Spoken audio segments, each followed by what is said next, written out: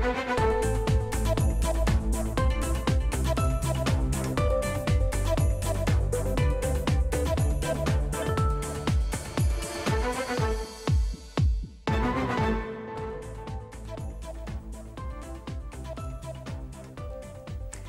سلام بر شما. خوش آمدید به صفحه آخر هفته. من فرناز قاضی زاده هستم. در حالی که حکومت جمهوری اسلامی در یکی از سختترین دوره های خود با چالش های بزرگ دیپلماتیک و اقتصادی روبروست و در داخل اعتراضات کارگری و جنبش های مدنی را بر نمیتابد گروه های سیاسی اپوزیسیون در خارج از کشور هم نشست های برگزار کردند از جمله اتحاد جمهوری خواهان حزب مشروطه ایران و تشکیل یک گروه تازه گروه موسوم به شورای مدیریت گذار. طی سه سال اخیر بسیاری از مخالفان حکومت جمهوری اسلامی در خارج از کشور امیدوار بودند بشود از اعتراضات داخلی و مخالفت کاخ سفید ترامپ با این حکومت پلی برای عبور از جمهوری اسلامی ساخت. بعضی از آنها معتقدند که نباید این راه منتهی به جنگ و تجزیه ایران شود. بعضی دیگر می‌گویند هر چه بشود بهتر از جمهوری اسلامی است. شورای مدیریت گذار که به تازگی اعلان موجودیت کرده به گفته دبیر کلش حسن شریعت مداری می‌خواهد از جمهوری اسلامی بدون لفظ براندازی عبور کند. این گروه می‌گوید چتری است در برگیرنده همه نظرات. از مشروط خواهان و جمهوری خواهان و فدرالیست ها اما تشکیل این گروه با واکنش های تندی از طرف گروه های مختلف هم مواجه شده. بعضی می‌پرسند تشکیل گروه های تازه اصلا چه لزومی دارد؟ تشکیل جلسه این گروه ها در یک روز در فاصله کمی از هم چه لزومی دارد؟ اصلا این گروه ها چه ارتباطی با معترضان داخل ایران دارند؟ سیاست این گروه ها برای برون رفت از وضعیت فعلی چیست؟ در برنامه امروز مهمانانی دعوت کردیم از های مختلف. شهریار آهی سخنگوی شورای مدیریت گذار از استکهلم با ماست. مهدی جلالی تهرانی از جریان سوم و کارشناس مطالعات خاورمیانه.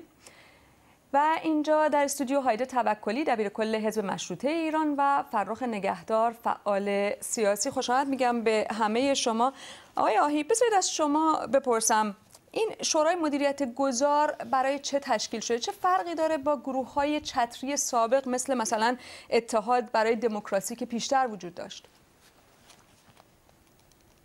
عمدترین تفاوتشونه که به سوی ساختن یه آلترناتیو پیش میره. آلترناتیو با احزاب فرق داره. احزاب مطالبه خاصی داره سعی می‌کنن تقلیل بدن اونو به یه تز ناب برای که اون تز ناب وجه انسجامشون بشه. ولی برای رقابت در نهایت برای رقابت با همدیگه ساخته شدن. در دموکراسی ها همینطور. احزاب با هم رقابت می‌کنن. ولی نهایت نهایت امر برای شورای گذار رسیدن به یه پارلمانه که تو این جامعه متکثر ایران همه این نهله ها توش باشن. خب به نحوی این یه چیز جدیده و همین دلیل این موجود جدید وقتی که وارد صحنه میشه یه قدری احساس ناراحتی می‌کنن سازمان که وجود داشتن.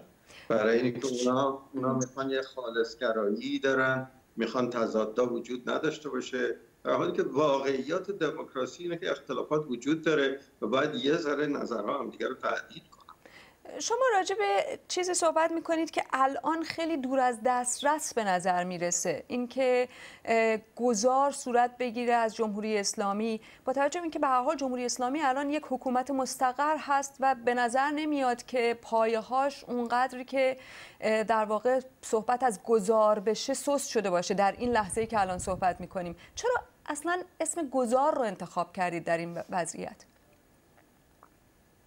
برای اینکه گذار از جمهوری اسلامی به دموکراسی انواع مختلف انواع مختلف داره. الزاما اون تصویری که براندازان دارند ممکنه راش نباشه ممکنه یه چیزی مثل آفریقای جنوبی اتفاق بیفته. نمیشه اینا رو پیش بینی کرد. اون چیزی که میشه پیش بینی کرد اینه که این موجود ناقص الخلقه برای قرن 21 یعنی جمهوری اسلامی که چیز که نمی‌تونه دوام بیاره. هر روز بخش بزرگتری از مردم ایران به این نتیجه می‌رسن که این نمی‌تونه مشکلات ما رو حل بکنه. منتها درگیر این هستن که آلترناتیو بود خب گام اول رو باید برداشت. هیچ هم حالت انحصاری نداره کار ما. آلترناتیو بهتری به وجود بیاد بهش میپیوندیم آلترناتیو دیگری باشه باش همکاری می‌کنیم. ولی باید گام برداشت به سوی ساختن یه آلترناتیو. چون بدون اون اگر یه انفجاری رخ بده ما خزینهش برای مردم خیلی بالا خواهد خب بذارید راجع به انتقادایی که به این شورای گذار مطرح بوده صحبت بکنیم. خانم توکلی یکی از اعتراضات بحث این بود که این گروه در واقع گروه های قومی که معتقد هستند به فدرالیسم رو دعوت کردن و در زیر چتر خودشون قرار دارن. چیزی که مشروط خواهان به شدت باش مخالفن. شما نگران هستید. و هم تو بحث اون پرچم که اونجا مطرح بود. ممکنه در مورد این نگرانی ها بیشتر برای ما توضیح بدید. بله همطور که آقای آهی فرمودن این به حساب گذار از جمهوری اسلامی چیزی است که همه اپوزیسیون فکر می‌کنم که در پیش هست. ولی اینکه این گذار به چه صورتی انجام میشه شیوه گذار به چه صورتی است اجراش به چه در چه شرایطی خواهد بود افرادی که این کار رو انجام میدن به چه صورتی به حساب تشکل دارن اینها همه مورد انتقاد هست. و یکی از موضوعاتی که در واقع ما به عنوان حزب مشروطه باهاش مشکل داریم همین مسئله هستش که مورد انتقاد قرار می‌گیره در رابطه با ملیت ها گفته میشه واجه هایی مثل ملیت های ایرانی استفاده میشه و همینطور موضوع فدرالیزم این موضوع از خیلی دیرتر حدود یک سال پیش در واقع با ما در میون گذاشته شده بود و ما این انتقادات رو بهش کردیم. اما الان می‌بینیم که اسنادی که آمده بیرون اگرچه یک واژه های متفاوتی درش وجود داره مثلا اشاره مستقیم به فدرالیزم نمیشه اما فقط می‌بینیم که در واقع فقط در گفتار یا نوشتار تغییراتی کرده. در کردار و پندار انگار همچنان دوستان به همون باورها هستند. و بعد موضوعات ملیت. ما در حزب مشروطه باور داریم که ایران یک کشور هستش و متشکل از یک ملت واحد یگان است در واقع. آقای جلالی تهرانی می‌دونم که شما در این مورد حرف دارید. بله ببینید من از صحبت آقای آهی شروع می کنم که به نظر من به باور من در صحبت ایشون یه تناقضی هستش که خیلی آشکار هم در عمل می بینیم و اون اینکه این کلا این وسوسه ای که اپوزیسیون داره که یه چتر سراسری درست بکنه همه دارن. خب ما اومدیم ما فرض کنیم که بنده هم آمدم یه اپوزیسیون درست کردم چتر سراسری. حالا چیکار بکنم؟ کدومش میشه شورای مدیریت گذار من میشم یا این آقایون میشن؟ این خودش مسئله است. و بعد میگن که می‌خوان باعث رقابت نشه. بعد بلافاصله در جمله بعدی اضافه می‌کنن که عملا باعث رقابت شد چون یه نیروی جدیدی که آمده بیرون. و واقعا هم دیدیم یعنی برخوردی که بین حزب مشروطه با مدیریت گذار شد همین بحث رقابت رو نشون میده. حالا اینکه چه شکلی داشته یه مقداری توهین آمیز از یک جانب البته بود. اونها بحث های دیگری است. ولی به هر حال این مسئله رقابت رو هم حتی نتوانستن. یعنی از اولین نیتی که شورای مدیریت گذار داره که بخواد جلوی رقابت رو بگیره بخواد یک چتر عمومی باشه در همین اولین هدف خودش شکست خورده. و چتر عمومی هم نشده. به خاطر اینکه کلمات فدرالیسم و اینها رو وقتی به سراحت بیان نمی‌کنن و با کلمات دیگری میگن که حساسیت زدایی بکنن در واقع حساسیت ایجاد نشه معکوس میشه. اتفاقا مردم احساس می‌کنن این یک نوع بیصداقتیه. روشن بکنید شما چی می‌خواید. یک گروه یک نیروی سیاسی میگه که آقا من چه برنامه چه نسخه رو برای آینده ایران دارم ممکنه تعداد پایه اجتماعیش هم بسیار کم باشه ولی نسخه خودش رو اعلام می‌کنه از مردم دعوت می‌کنه دلبری می‌کنه. منت مردم رو می‌کشه تا مردم به این نسخه او توجه بکنن. رقابت های سیاسی اصلا باید وجود داشته باشه. ما نمی‌تونیم یک اتحاد با یک عنوان بزرگ برای خودمون ایجاد کنیم که ادعای گذابه یعنی مدیریت گذار باید در عمل ثابت بشه نه در عنوان. الان داریم الان داریم نشانه شورای مدیریت گذار رو می‌بینیم. ولی اونطور که من متوجه شدم از صحبت آقای آهی میفرمایند که به هر حال دنبال یک آلترناتیو هستند و پیشنهادشون این بوده که همه با هم جمع بشیم یک آلترناتیوی پیشنهاد بکنیم. شما مخالف این هستید؟ ببینید آلترناتیو با تعدادی آدم انجمنی از افراد اون هم افراد سرشناس مشکل دیگر اپوزیسیون ما اینه که شخص محور یا انجمنی از افراد رو جمع می‌کنه یا مثلا یک فرد رو فرض کنید مثل آقای رضا پهلوی. برنامه محور نیستش آلترناتیو برنامه است گفتمانه. مثلا اگر جمهوری اسلامی میگه ضد اسرائیل آیا این افراد کلا اپوزیسیون ما به طور کلی میگم من به نظر شخصی خاصی ندارم. اتفاقا شورای مدیریت گذار رو بسیاری از دوستان رو در اونجا عملکردشون رو ستایش هم می‌کنم. اما به طور کلی آیا اپوزیسیون ما شجاعت داره بگه من با اسرائیل دوستم؟ وقتی جمهوری اسلامی میگه با عربستان دشمنه آیا اپوزیسیون ما شجاعت داره بگه من با عربستان دوستم؟ یعنی اون چیزی که جمهوری اسلامی میگه تو مخالفش رو بگی. یه همچین چیزی در گفتمان شکل می‌گیره در تولید محتوا شکل می‌گیره نه در تعدادی رو با هم جمع کردن. آقای نگهدار من دیدم که شما هم مطلب نوشتید در مورد شورای گذار پیشتر در بهار امسال و صحبت هایی دارید. شما هم انتقاداتی دارید. یه جنبندی بفهمید که شما انتقاداتتون دقیقا به چی هست در این اول در مورد آلترناتیو هست.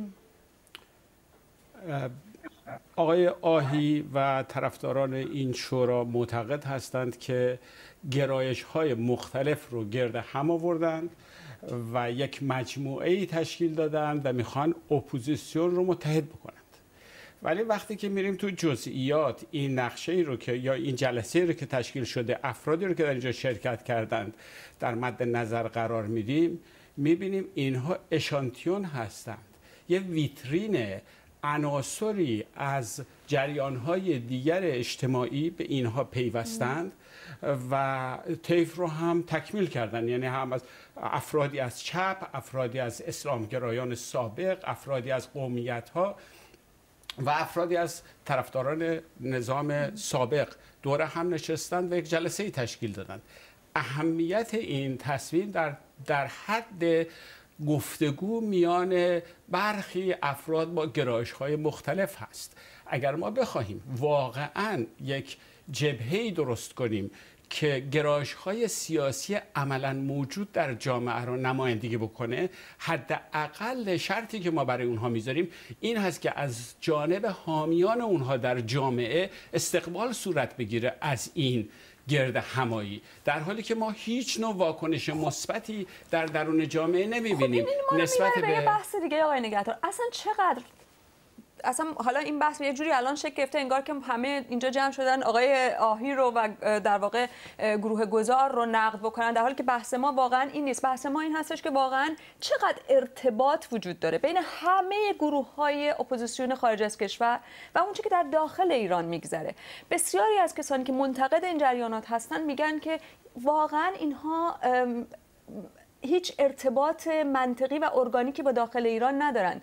انگار که یک عده هستند که مخالف جمهوری اسلامی هستند و یک عده قابل توجهی هم در داخل ایران ممکن است مخالف جمهوری اسلامی باشند. ولی هیچ ارتباطی بین این دو نیست. کاملا. هیچ ارتباطی نیست. به نظر من یک بیان اقراق‌آمیزه ارتباط هست ولی این ارتباط به حد کافی نیست. یعنی شما هیچ یک از عزیزانی که در خارج از کشور نشستند و ادعای همبستگی با جریان چپ رو مثلا در ایران دارند یا جریان لیبرال رو یا جریان های مذهبی در ایران رو دارند نمی‌تونن بگن ما نماینده اونها هستیم. این حرف شما صحیحه. ولی ارتباط وجود داره تاثیر پذیر وجود داره. مثلا وقتی که ما اینجا جمع میشیم و در یک رسانه پر مخاطب صحبت می‌کنیم ما در جامعه می‌بینیم که نسبت به این نمایندگانی که در اینجا وجود داره تا حد معینی حساسیت وجود داره. حرفاشون رو نقل می‌کنن در محافل برخی رو میپذیرن برخی رو رد می‌کنن. در این حد تاثیرگذاری مطرح هست ولی اینکه ما مثلا از اینجا بشینیم بگیم به چپ چپ به راست راست از این طرف برید یا شورش بکنید یا برید خونه یا بیاید بیرون اینها ادعاهایی که مطرح میشه. این تصمیمات در درون کشور پخته میشه میاد. و من یک نکته دیگه هم دارم در بحثی که در اینجا مطرح هست برای آلترناتیو سازی.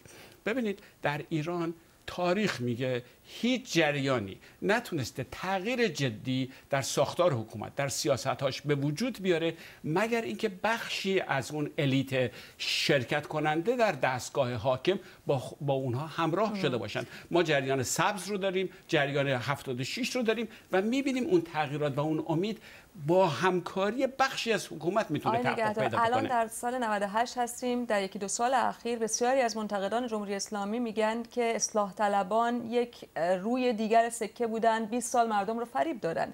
شما حرفی که می‌زنید خیلی ها میگن که شما دارید فقط دنبال این هستید که اصلاحات در داخل صورت بگیره چیزی که امکان نداشته و اتفاق نیفتاده. فکر کنم شما هم با این موافق هستید خانم بله دقیقاً. من اتفاقا نمی‌دونم که در صورت موضوع بحث ما در مورد اپوزیسیون هست. من نمی‌دونم آقای نگهدار در کدوم بخش اپوزیسیون هستن؟ اپوزیسیون حکومت در واقع عبور از جمهوری اسلامی و یا اپوزیسیونی در داخل حکومت. چون به هر صورت راهکارهای آقای نگهدار بیشتر در کارنامهشون دیده شده که بیشتر در حفظ حکومت همکاری داشتن و یا به حساب نگاهشون برای این بوده که در داخل حکومت یه تغییرات اتفاق بیفته که ما باورمند به این از درون.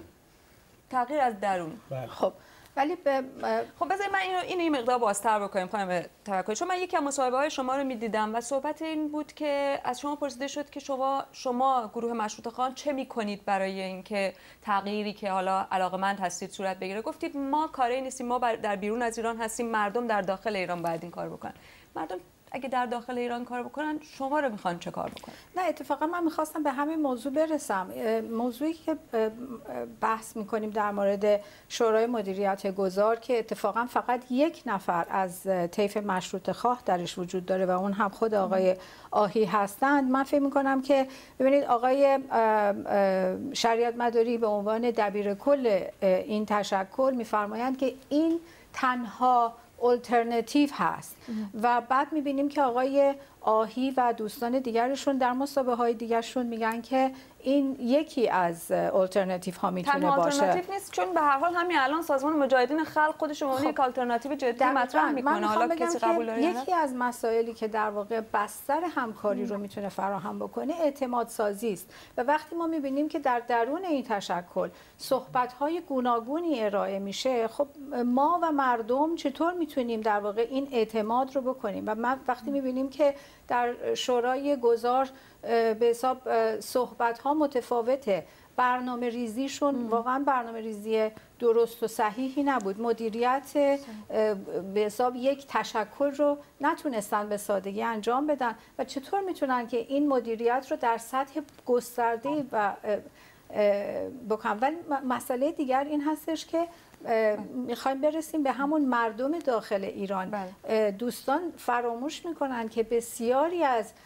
به حساب طیف مردمی رو فراموش کردن. مردم داخل ایران در واقع همشون صحبت های دوستان را در شورای گذار رو بهش عقیده ندارن.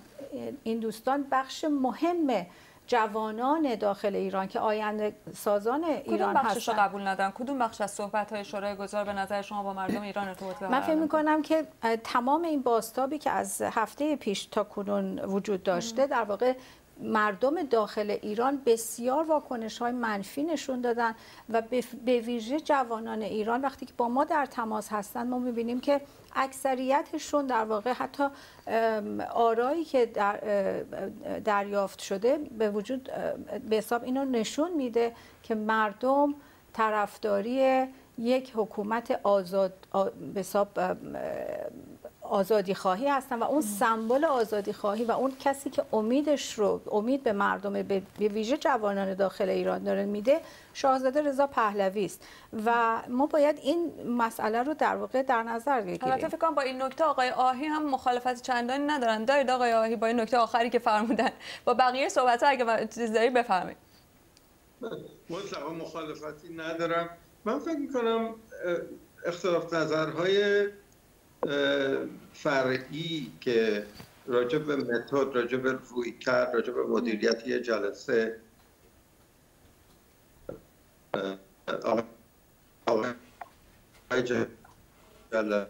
خیلی توضیحات باید بدیم بیشتر هم باید بدیم. عرض کردم این چیزی باید بگیم ما رقابتی نداریم با کسی با آقای جلالی. واقعا نداریم. یعنی واقعا می‌خوایم همکاری بین نهادهای مختلف داشته باشه اون فرقی که داریم با موضع آقای نگهدار است که اخیرا خب مقاله نوشتم و میترسونن اونهایی که می‌خوان رژیم رو عوض کنن. میگن ایران لیبی میشه سوریه میشه. من فکر می‌کنم مهمترین چیزی که بعد ازش بترسیم همین ترسوندن آقای نگهداره یعنی اینجا باید با هم توافق بکنیم که اراده داریم که این رژیم باید برود. حالا راجع به متدش در باید در داخل کار کرد بیشتر. معلومه تدبیر میدانی در داخل ولی یک کارایی رو در داخل نمیشه کرد. اون کارا رو خارج باید انجام بدیم دقیقا چه کاری رو آقای آهی؟ دقیقا شما به عنوان اپوزیسیونی چتری که تشکیل دادید قرار چه چیزی به اون کارگری در هفت تپه بده که الان ماها حقوقش رو نگرفته و ناراحت از این حکومت؟ شما چی به او می‌دید؟ عرض می‌کنم خدمتتون. هزاران نقطه اعتراض در داخل کشور وجود داره. اون مرکز اتصالی که اینها رو به هم وصل می‌کنه هماهنگ می‌کنه نمی‌تونه در داخل کشور باشه. مثل اوقابی این رژیم میاد بالای سرش رو از بین می‌بره. ما می‌خوایم به نقطه اتصالی بشیم نقطه تجمیع اعتراضات بشیم. در داخل کشور نمیشه یه جلسه گذاشت آزادانه. مثل همین جلسات که شما بهش اشاره کردین بشینن با هم آزادانه بحث کنن. نگران نباشن خب، شب رفتن دقیقا بحث ما همین هست آقای آهی. شما در لندن بشینید راجع به مسائل ایران صحبت کنید. اصلا برای اون کسی که در ایران من نمیگم که من راجع به اون 16 میلیون مثلا رای داده به آقای رئیسی که میگن اینها به هر حال پایگاه اجتماعی حکومت جمهوری اسلامی هستن صحبت نمی‌کنم. راجع به کسانی صحبت می‌کنم که علاقمند هستن به رفتن جمهوری اسلامی. شما فکر می‌کنید شما در لندن صحبت بکنید به اونها چی میده؟ شما آیا هیچ تونستین اینها رو ارگانایز بکنید ارتباطی بین اینها برقرار بکنید؟ چه کردید در این زمینه؟ خانم زاده بیشتر از نصف صحبت هایی که من در روز دارم با داخل کشور این فرق داخل و, داخل و خارج واقعا با این تکنولوژی جدید از بین رفته. توی تمام جلسات شورای مدیران شورای گذار عده قابل توجهی از داخل کشور شرکت می‌کنن این اختلافات از بین رفته. منتها مرکز تجمیع نمی‌تونه در داخل باشه. اونجا یه دستگاه اطلاعاتی وجود داره مترسط از به محض اینی که علائم اگه همچین تجمیع رو ببینه از بین می‌بره. اینا فرق الان در خارج شما ببینید آمدن استودیو شما نشستن با میلیون ها در داخل صحبت می‌کنن. در داخل نقطه ای نیست که کسی بره اونجا آزادانه. با میلیون ها صحبت بکنه. همه این چیزها کارهای تکمیلی هست که خارج باید انجام بده که داخل نمی‌تونه انجام بده. و این که اصرار بکنیم که این کارا خارج انجام نشه اصرار کردن روی باقی موندن جمهوری اسلامی. آقای نگهدار چرا مردم رو میترسونید از اینکه ایران سوریه بشه؟ من تکذیب می‌کنم یک همچین اتهامی رو. اتهام, اتهام خیلی بزرگیه بله. که من مردم رو میترسونم. چون مهمترین کاری که فعالین سیاسی می‌تونن انجام بدن ریختن ترس از یکدیگر است از دیگری است ترس حکومت از مردم. که خیلی جدی در دوران زمان شاه وجود داشت. در این نظام هم به شکل دیگری به وسعت وجود داره و ترس مردم از حکومت. اگر این ترس بریزه ترس نیروهای سیاسی یک دیگر که من اینجا بشینم با آقای مثلا آهی که سلطنت طلب هستن یا مشروط خواه هستن هرچی یا خانم توکلی صحبت بکنم گویا که یک گناهی انجام شده. 20 سال پیش 30 سال پیش جامعه ما اینجوری فکر می‌کرد. باید این ترس بریزه باید گفتگو صورت بگیره و این خیلی مفیده برای جامعه ما. یک. دو چرا ما میگیم می‌خوایم ترس مردم از حکومت بریزه؟ پشتوانه این حرف چیه؟ همین امروز در استادیوم های استادیوم آزادی دیدید که بالاخره مردم موفق شدند. یک پیروزی گرفتن و و یک لبخند روی لبشون آمد. به قیمت چی؟ خودسوزی یک انسان. به قیمت اگر بخواهیم قیمتی رو بخوایی رو که جامعه ایرانی برای این موفقیت کوچک پرداخت. با بهایی که در کشورهای دیگه همسایه ما در اتفاق میفته ما باید امروز خوشحال باشیم. ما متاسفیم از اینکه جای دختر آبی امروز خالی بود. همه هم اش ریختن برای این. من متاثر شدم وقتی که دیدم صحنه رو و جای اون دختر نیست. درسته ولی یک چیز به دست آوردیم نتیجه داد. و این آقای, خیلی بطعی نیست. سالها دختران از حدود 20 سال پیش دارن جلوی استادیوم. شورای گذار. به دموکراسی. بله. اگر من بودم می نوشتم شورای گذار تدریجی به دموکراسی. چقدر تدریج گام سال دیگه؟ گام به گام کار نسل هاست. من باشم خودم باشم تنهایی. برای اینکه توافق بکنم با آقای آهی و خانم توکلی میگم بیایید توافق بکنیم گذار تدریجی. اگر خودم باشم می نویسم تقویت دموکراسی. برای اینکه اون چی که داره اتفاق میفته این ساختن قدم به قدم دموکراسی در کشور ماست. حضور و رفع تبعیض حضور مردم در جامعه. آقای جلالی تهرانی شما با این روند تدریجی موافق هستید؟ فکر می‌کنید که آیا این جواب میده؟ اگر برای هیتلر هم شاید پیشنهاد خوبی می‌تونست باشه که بگیم روند تدریجی یواش یواش مثلا رژیم فاشیستی رو اصلاح بکنیم و ممکن اتفاقاتی بیفته. صحبت از لبخند می‌کنن و اشک اینها شوخیه. هیچ ملتی به دموکراسی نرسیده مگر از از جان گذشتگی از خود گذشتگی مگر هزینه دادن. کجای دنیا گام به گام بوده؟ دروغ به ما گفتن. کجای دنیا؟ یک کشور که دموکراسی از راه صندوق رأی و انتخابات به دست آمده باشه. اینها دروغ. اگر عرضه نداریم برای انقلاب کردن نمی‌تونیم ضرورت انقلاب رو از بین ببریم و بگیم انقلاب لازم نیست. میگیم ما توانشو نداریم میگیم ما عرضه نداریم ولی انقلاب برای ایران ضروری است. و به همین جهت اپوزیسیونی قرار بگیره که در آقای نگهدار پرسن چند تا انقلاب؟ یه بحث دیگه این هست که بسیاری از منتقدان میگن مردم یه بار انقلاب کردن نتیجهش این شد. نگرانن که انقلاب بعدی نتیجهش از اینم بدتر بشه.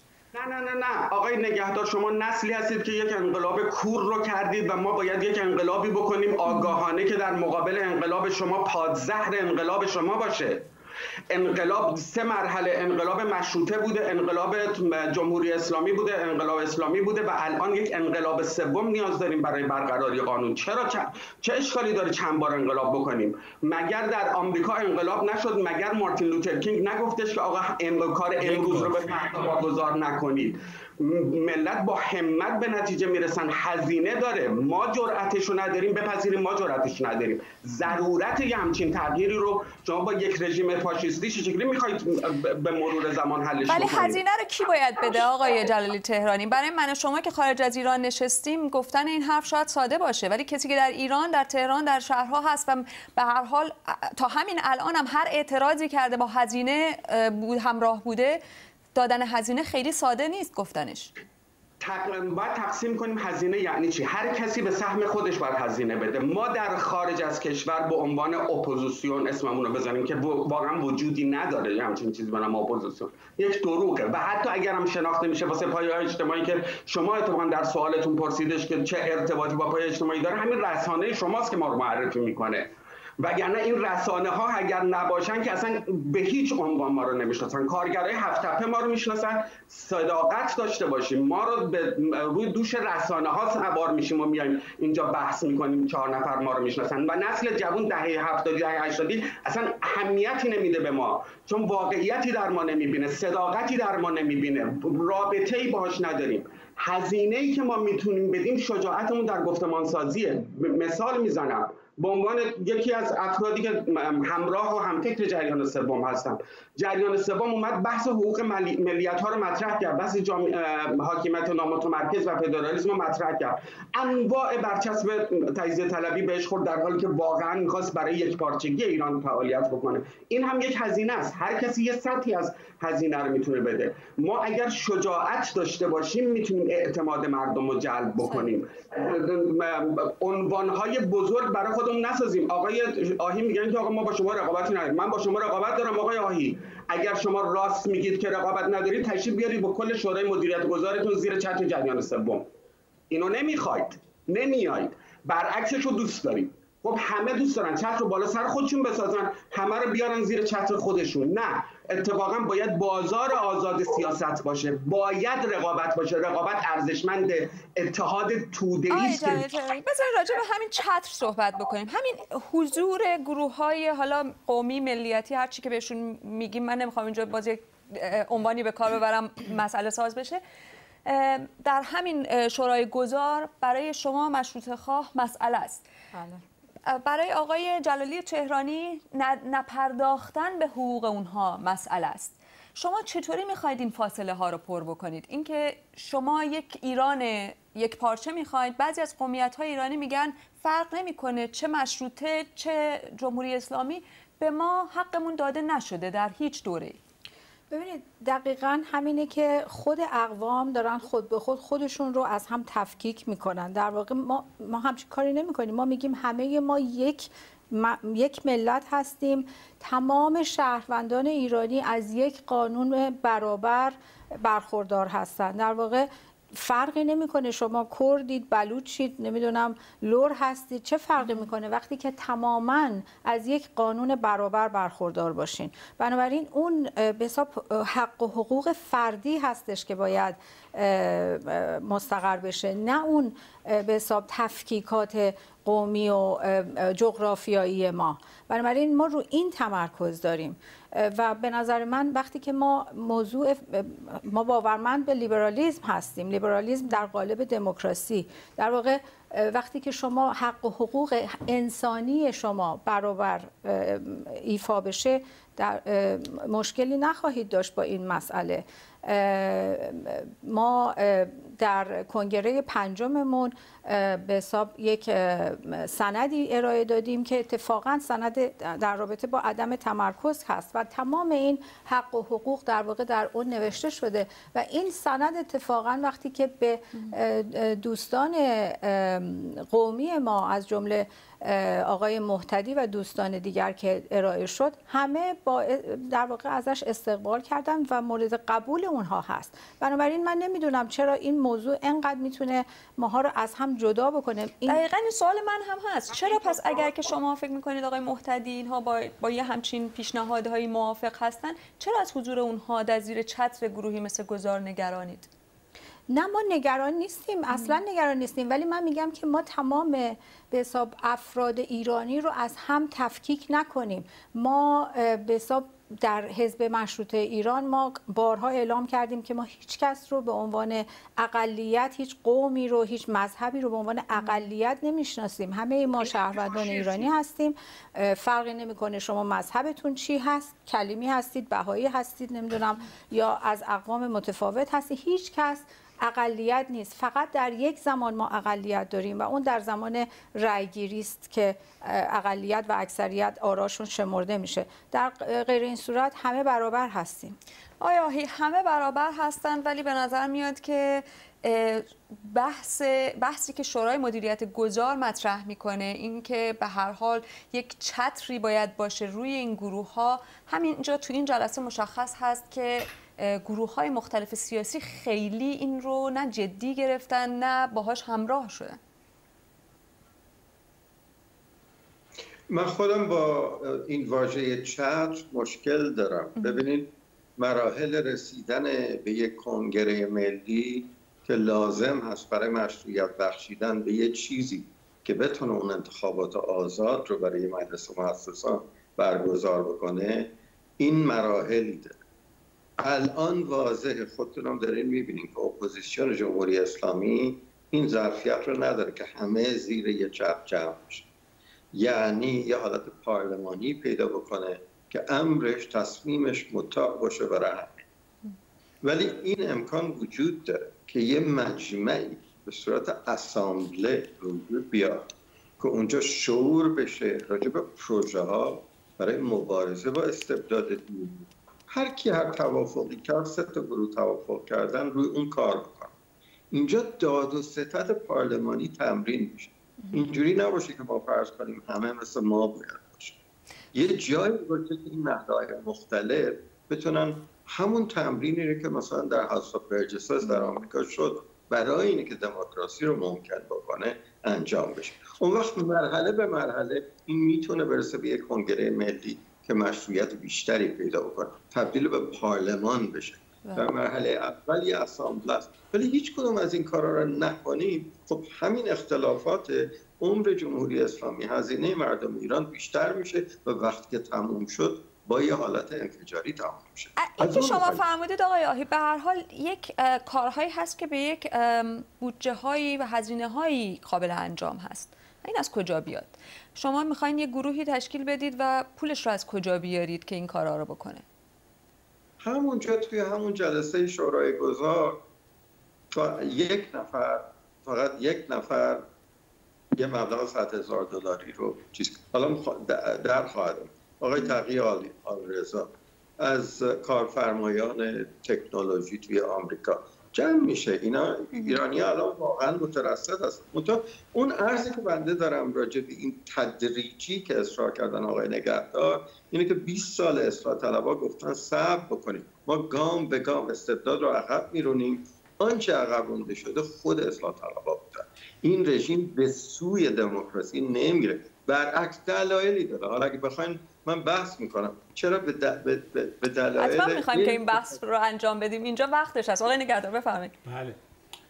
مشکل با این... بنده عرض می‌کنم. آقای نگهدار پاسخ شده. ببینید هر چی پشتیبانی یه رژیم کمتر مجبوره که دایره مشارکت رو تنگتر کنه. دایره مشارکت از اوج اصلاحات تا امروز هی کمتر و کمتر شده و مجبوره که این رو کمتر بکنه محاله که دایره مشارکت بیشتر بشه تحت نظام توتالیتر در این فازهای آخر ببینید یک مشکلی که در زمینه اصلاح طلبی در ایران در این دو سه ساله اخیر که شما هم بهش اشاره کردید به وجود آمده ناشی از تغییر فضای عمومی در رابطه با ایران در عرصه بین آقای ترامپ آمده و کلیه تلاش هایی که برای بهبود این رابطه در طول سالها جریانات اصلاح طلب کشیده بودند که ما از این تخاصم دست برداریم و به مذاکره و مصالحه برسیم اینها رو ایشون زیر زیرش زده.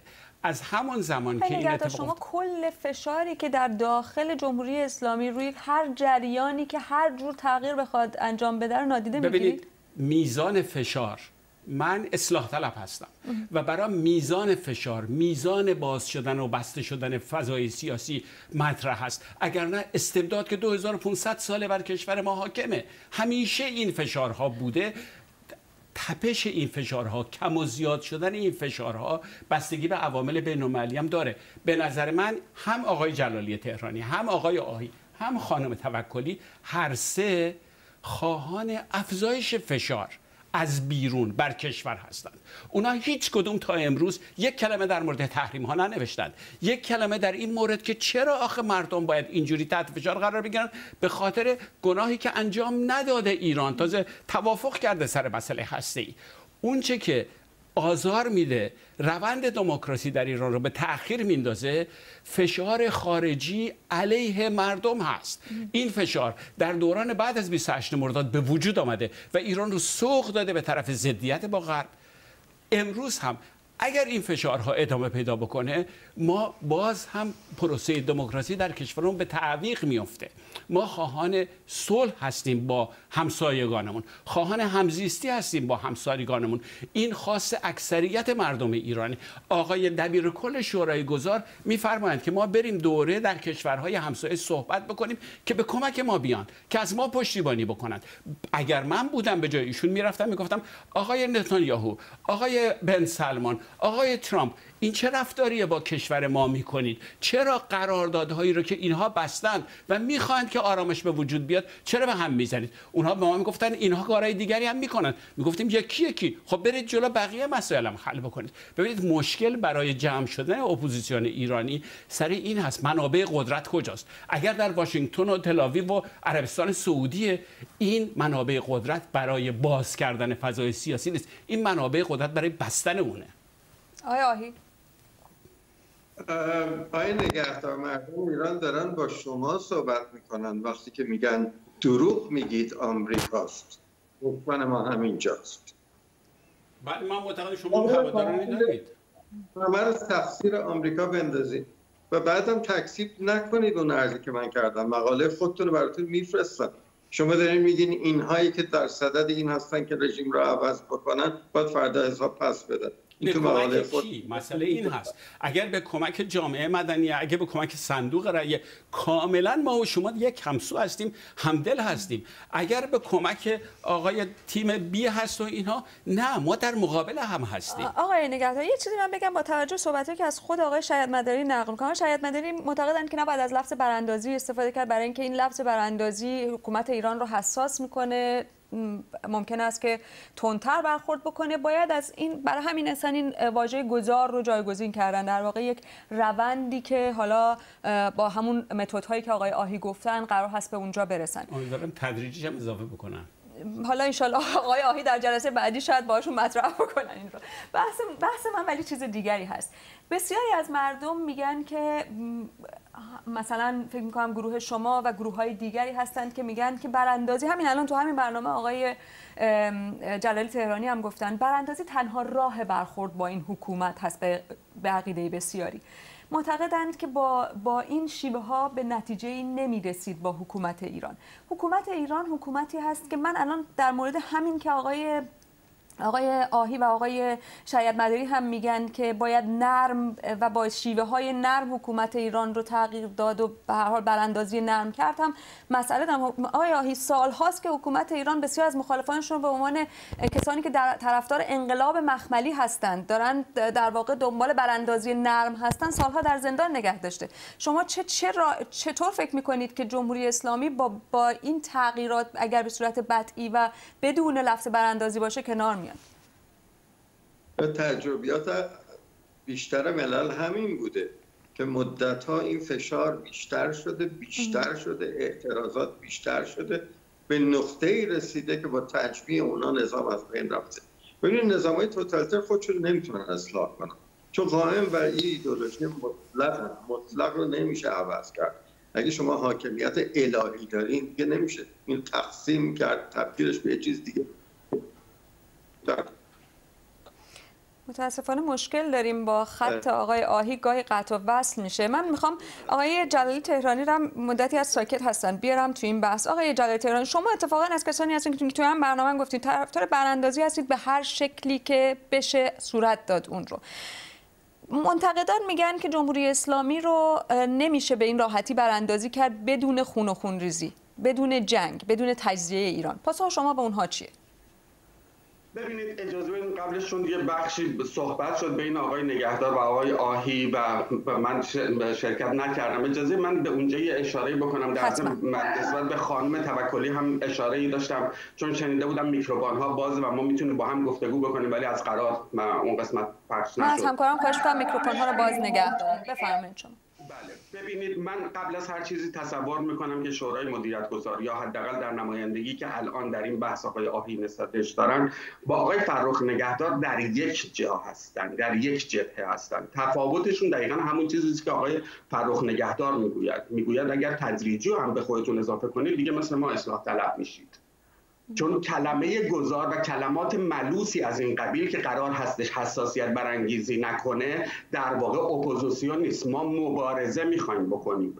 مبارزه که دیگه نمیشه ملوس بود و حساسیت برانگیز نبود. باید دشمن تو تعریف کنی مشخص هم بکنی تا یک برنامه داشته باشی. سوال من از این گروه های اپوزیسیونی ببینید من وقتی اپوزیسیون رو نقد می‌کنم این تضعیف اپوزیسیون نیستش تقویتشه. چون باید خودمون رو بشناسیم. باید بدونیم کسانی که چهل ساله در اول انقلاب جوان بودن انقلاب کردن. بعد چهل سال اسم خودشون رو گذاشتن مبارز میگن ما چهل ساله داریم مبارزه می‌کنیم. این تو فرهنگ انگلیسی باید جواب داد such a loser. تو یک بازنده هستی که چهل سال مبارزه کردی به نتیجه نرسیدی.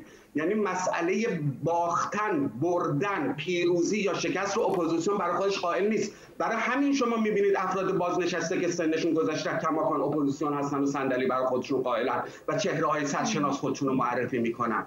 چون خب. باخت و بردی برای خودشون الان ما از گروه های جوانتر چیزی رو دعوت نکردیم نداریم اینجا به غیر از شما. ولی ولی اونها هم وضع بهتری ندارن. شما فرشگردی ها رو ببینید دائم ریزش دارن. چند نفر بودن در آغاز الان چند نفرشون موندن. گروه خود شما همین الان درگیر یک مسئله داخلی هست. بحثی نیستش که واقعا این مسئله انشعاب و نساختن با هم دیگه مسئله یک گروه و دو گروه نیست. اغلب گروه ها اینو دارن. ببینید من در مورد انشاب صحبت نکردم. مشکلم اتفاقا من اینو در قسمت اول پاسخ دادم. جریان سوم تفاوتش با گروه های دیگه اینه که فقط یه تفکر سازمان سیاسی نیست. تشکیلات نیستش که ریزش توش معنا داشته باشه. یه تفکر یه سری همفکر با خودش داره. و, و فکر هم که قابل انحلال نیست. اتفاقا مشکل سازمان های سیاسی این هستش که میان بر مبنای افراد خودشون رو معرفی می‌کنن. شما از جریان سوم تنها چیزی که میشنوید حالا من ممکنه یک بار آمده باشم با عنوان یک همراه حرف زده باشم دوبار آمده باشم. چیزی که میشنوید تولیداتشه. گفتمان سازی که داره می‌کنه. برای مثال در مورد همین الان آخه ببینید تعارف تعارف رو بذاریم کنار یه لحظه حداقل اینجا. همین اپوزیسیون ما همین آقایون که تشریف دارن خانمی که هستن بیان صحبت کنه الان آقای اردوغان داره به روژاوا حمله می‌کنه. نظر شما چیه؟ فرض کنید الان شما قدرت دستتون بود. من یک شهروند بودم. باید می‌دونستم که موضع شما در این مورد چیه. شما اصلا در باغ سیاست نیستید. یعنی خبر نداری چه اتفاقاتی میفته که بخواید روزانه نسبت بهش موضع گیری بکنید این رو دارم در کل اپوزیسیون عرض می‌کنم و گفتم شخصی نمی‌کنم. ما بنابراین چه شکلی می‌خواید اعتماد مردم جلب کنیم؟ من الان نمی‌دونم که اگر دقیقا هیچ کدوم از این گروه های اپوزیسیون قدرت دستشون بود در این موارد چه موضع گیری می‌کردن؟ وقتی که آقای ترامپ ببینید خیلی مشکل اصلی ما اینه. من حرفم اینه. تک تک این شما خبرنگارید خانم قاضی زاده از تک تک این گروه های اپوزیسیون بپرسید. بپرسید برنامه مبارزاتی چیه؟ برنامه واسه آینده مثل ققنوس 50 سال دیگه یا بعد از اینکه حکومت عوض شد یا پارلمان اینها پیشکش. برای این هفته من بگو. برنامه مبارزاتی برای اینکه رژیم رو ضعیف کنیم از بین بره این هفته روبروی ممنون آقای جلال تهرانی خانم توکلی پاسخ بدید. برنامه شما برنامه حزب مشروطه ایران چیه؟ ما می‌دونیم که حالا دست کم حزب مشروطه یک در واقع سمبولی داره. به حال آقای رضای پهلوی سمبل این آینده ایران هست. شما میگید که علاقمند هستید که مشروطه در واقع حکومت مشروطه پارلمانی باشه و ایشون در صدرش قرار بگیرن. به غیر از این دیگه چی دارید؟ ببینید من می‌خوام الان چند تا نکته الان اینجا مطرح شد. من اجازه بدید که موضوع متوجه نشد صداتون صداتون نیومد آقای جلال تهرانی. بفهمید و بعد اجازه بدید خانم توکلی صحبت کنم بفهمید که حزب مشروطه معتقد به مشروطه باشه پادشاهی باشه این برنامه مبارزاتی نیست که شما گفتید. برنامه مبارزاتی اینه که دقیقا بگه من الان به عنوان شهروند این هفته هفته آینده تو این یک ماه آینده چه کار بکنم؟ باش. من عذرخواهی می‌کنم. شما بفرمایید. من فقط می‌خواستم یه اشاره بکنم به صحبتی که آقای نگهدار فرمودند. و اون این هستش که آقای نگهدار درست مثل حکومت جمهوری اسلامی فراموش می‌کنن یه موضوع بسیار مهمی و اون نظرات توده مردمه. مردم چی می‌خوان؟ مردم خودشون دارن شعار میدن که ما از اصلاح طلبی و اصولگرایی گذر کردیم. در واقع اونها از حکومت عبور کردند. در نتیجه ما باید برنامهمون رو روی این موضوع focus بکنیم. موضوعی که موضوعی که دوست عزیز اشاره می‌کنن که ما در واقع چه برنامه‌ای داریم. ما همیشه باورمند به این بودیم که طیف جمهوری خواه طیف مشروطه پادشاهی خواه ما باید در یک سمت و سو با هم قرار بگیریم با هم هم صدا بشیم هم فکر بشیم و بتونیم یک اپوزیسیون متشکل خوب به حساب درست بکنیم. همون کاری که الان آقای آهینا کردن. بله ولی همطور که گفتم مشکلی که با اعتقادی که ما در رابطه با شورای گذار داریم اینه که بر خلاف آنچه که می‌گویند که گروه های متفاوت درش وجود داره اینطور نیست. اونها از حزب مشروطه کاملا قافل هستن حزب مشروطه در این جریان وجود نداره. و دلایل شرکت نکردید یا اونها دعوتتون نکردن؟ خب از سال پیش که این موضوع مطرح شد از طرف آقای شریعت مداری همونطور که خدمتون گفتم در واقع موضوع موضوعاتی در این سند پیشنهادیشون وجود داشت که یکیش موضوع فدرالیزم بود که در واقع به عنوان یکی از گزینه ها برای رفراندوم از حساب برای نوع حکومت در واقع سه تا گزینه برای رفراندوم درش وجود داشت. یکیش گزینه مشروطه پادشاهی بود یکیش جمهوری بود و یکیش فدرالیزم بود. و ما ایراد ما در این موضوع این بود که فدرالیزم در واقع نمی‌تونه یک نوع حکومتی باشه بلکه باید یک ساختار درونی باشه اگر که به رأی مردم برسه. بنابراین ولی جواب سوال آقای جلال تهرانی رو ندادید. اگر الان شما قرار باشه یک برنامه بدید برای چند هفته آینده یه عده‌ای هم هستن در ایران که طرفدار مشروطه پادشاهی هستن. بله. چه بکنن دقیقاً اتفاقا همین موضوع هستش که ما از دیرباز از نه, نه الان از خیلی زودتر از این. ما برنامه ما بر این بوده که ما بتونیم گروه های متفاوت رو در مسائلی با هم, هم همسو بکنیم و در به حساب نکات مشترک همدیگر رو پیدا بکنیم و در اون راستا با هم همکاری داشته باشیم. و موضوع مهمتر این هستش که آن چیزی که مردم داخل ایران می‌خوان رو در واقع دنبال کنیم و پیاده بکنیم. و این به نظر می‌رسه که الان به حساب شما الان فرمودید که گروه های متفاوت دارن ریزش می‌کنن ولی در حزب مشروطه چنین نیست. ما الان تعداد بسیاری به ما میپیوندند و طرفداران ما طبیعتا ولی خب به خاطر مسائل امنیتی نمیشه اینها رو بازگو کرد. ولی مسئله که هست نمیشه بازگو کرد؟ مثلا اینجا حزب کارگر مثلا اعلام می‌کنه این هفته مثلا 300 هزار نفر برای رای خب دادن به کوربین به ما پیوستن. خب چرا شما بله. نمی‌تونید؟ خب من برای اینکه در داخل ایران رو نمی‌تونم. این مسائلی است که در داخل ایران نمیشه این مسائل تعداد رو چرا نباید مسئله ای باشه. ممکن است فرد رو اشاره بکنید مسئله است ولی تعداد چرا مسئله است؟ هزار صد هزار میلیون اینها باید این برای اینکه در واقع چیزی که تصویری به ما بده. خب چیزی که در ما یک به حساب تشکلی داریم در خارج کشور که ما شاخه‌های متفاوت داریم. این را روی وبسایت ما هست. دقیقا می‌تونید ببینید که دقیقا ما چه شاخه هایی داریم در سرتاسر سر دنیا. ولی مسئله که در داخل ایران اتفاق میفته ما هسته های متفاوتی داریم که در واقع اونجا دارن هم پشتیبانی از ما می‌کنن و با, با ما همکاری می‌کنن. این مسائل امنیتی رو ما نمی‌تونیم اینو در واقع بروز کنیم. ولی چیزی که مسئله که هستش این هستش که حزب مشروطه یک حزب جوانگراست. اکثریت کسانی که به ما میپیوندن از افراد جوان جامعه هستن آیا نگهدار من یادم هست که شما تو مطلبی که نوشته بودید راجع به همینم صحبت کردید. اینکه اغلب این گروه ها گروه هایی هستند که سن و سالدار هستند. آقای جلال تهرانی هم به همین انتقاد دارن همینو گفتن. جوانگرایی حزب مشروطه به نظر شما جواب میده؟ والا یک حزب فرشگرد درست کردند. یه حزب نبود البته جریان فرشگرد که یک رو برگشت بود به زبان گفتگو رو نمیپذیرفتند و با پرخاش می‌خواستند کار بکنند. من اتفاقا فایل های ایشون هم نگاه کردم حزب مشروط جلسه داشت و فضای بسیار بسیار متشنجی و توأم با پرخاش به یکدیگر پخش کردن صحبت آقای تقیزاده بود که من دیدم با, با آقای حسن شریعت مداری دارن انتقاد می‌کنند ولی زبان گفتگو داره سربار 50 سال شاید زمان رضا شاه بود و البته من زبان آقای شریعت مداری هم که صحبت کردند اون رو نمیپسندم سخنرانان برنامه نمیپسندم. عضو حزب نیستم.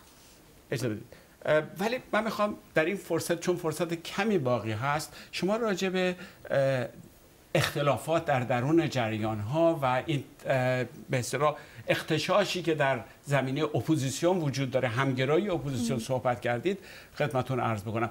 علاوه بر این دو جریانی که حالا یکی شورای گذار یکی بله. هم حزب مشروطه نشست داشتند نشستی هم برای جمهوری خواهان داشتن بله شما اونجا اونها منم بله. اونجا شرکت داشتم. بله. چون که پروژه اصلی که اونها گذاشتن جلوی خودشون نگفتن هم به ولایت فقیه هست ولی فقیه قبول ندارن. هم به ولایت عهد است ولی عهد قبول ندارن. اصلا ما ولایت خب رو کیو دارید پس شما, شما ما جمهوریت رو ما جمهوریت رو پشتیبانی می‌کنیم و می‌گوییم نیروی سوم.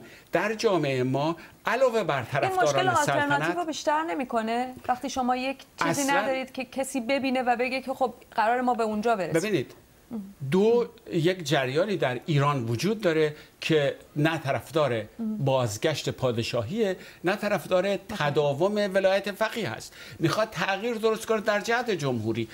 دو شاخه دارند اینها. یک بخششون بخشای سکولار غیر مذهبی هستن یک بخششون بخشای مذهبی هستن که الان دارن این رو پیش می‌برن. ممنون آقای نگهدار. اجازه بدین یه سی ثانیه هم وقت دادیم به آقای آهی. برای اینکه وقت زیادی ندیم آقای آهی شما مگه جمع بندی بکنید در سی ثانیه ممنون میشم. مهمترین چیز اینه که اونایی که به تمامیت ارزی ایران دموکراسی و سکولاریسم معتقد هستن جمع شن قبول کنن که این اختلافات وجود داره بله. اون مجمعی که می‌تونه همه اینا رو نمایندگی بکنه نمی‌تونه یه چیز خالص باشه و در جهت تجمیع اعتراضات داخل کشور هزارها اعتراض در داخل کشور کار بکنن بله. کاری که در داخل کشور نمیشه انجام داد برای تکمیل تظاهرات برای تکمیل اعتراضات مردم. متشکرم از همه شما آقای جلالی تهرانی آقای آهی آقای نگهدار و خانم توکلی و ممنونم از شما که با صفحه دوی آخر هفته همراه ما بودید. برنامه رو می‌تونید روی وبسایت ما و سایت یوتیوب مجدد مشاهده بکنید. شب روزتون خوش.